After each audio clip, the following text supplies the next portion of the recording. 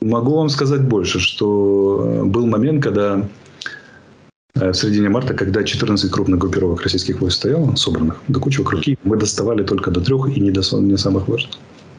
То есть все эти расчеты показывали, что нам конец.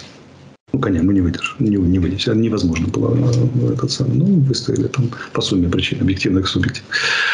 Так вот, э, что я хотел сказать. И тогда военное счастье при этом было на нашей стороне, несмотря на весь этот все. Или там пролет вертолетов, там 25 вертолетов пролетело, 30 вертолетов пролетело на направление, где я знаю, что у нас вообще ни одной единицы ПВО.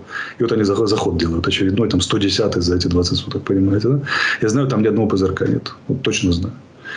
И э, как бы, ну ладно, думаешь себе, хорошо, очередная куда полетят, где высадятся, очередная партия, посмотрим.